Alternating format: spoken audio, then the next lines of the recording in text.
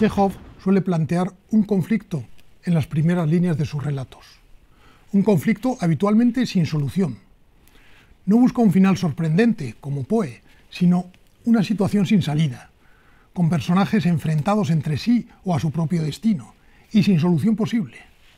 Las historias de Chekhov no son extraordinarias, ni con seres especiales, ni en escenarios insólitos, sino historias de gente común, que viven vidas corrientes y en lugares que podrían ser los de cualquier lector de sus cuentos.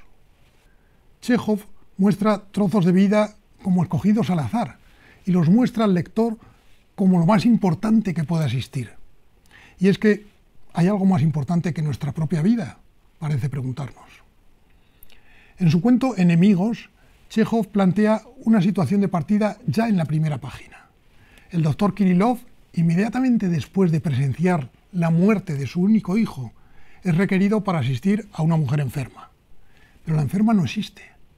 El doctor se siente humillado y eso provocará un resentimiento y una enemistad eterna entre el médico y el visitante inoportuno. Eso es todo. La historia continúa, pero los lectores comprenden que algunas veces se dan situaciones irreversibles. Y ese es el mensaje que nos quiere dejar el autor. Enemigos para siempre dos hombres a los que las circunstancias han enfrentado de por vida. Hay cuatro diferencias fundamentales entre la manera de escribir cuentos de Chekhov y la de Poe. Una no es mejor que otra, simplemente son distintas. Primero, Poe empieza por dar un ambiente general al cuento para poder llegar a un desenlace previsto de antemano. Chekhov, en cambio, entra directamente en acción, sin previas presentaciones de ambiente o de personaje. En segundo lugar, Poe cuenta historias extraordinarias que suceden en lugares exóticos. Chekhov las cuenta en lugares comunes, con personajes normales que llevan vidas corrientes. En tercer lugar, para Poe, todas las escenas tienen una sucesión lógica, como una cadena de causa-efecto. Chekhov, en cambio, describe a sus personajes a través de escenas y movimientos, sin que necesariamente haya conexión entre unas y otras, casi como trozos de vida escogidos al azar. Y en cuarto lugar, Poe cierra sus cuentos con un final explosivo y terminante, para el que todo el cuento ha sido escrito. Chekhov, en cambio, no cierra sus cuentos, simplemente muestra una escena más detallada en la que los personajes se dan cuenta de que la vida continúa a pesar de todo.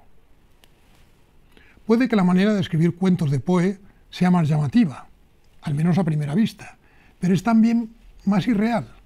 Chekhov se acerca más a la vida cotidiana, similar a la que viven los lectores, y les hace reflexionar en profundidad acerca de su existencia.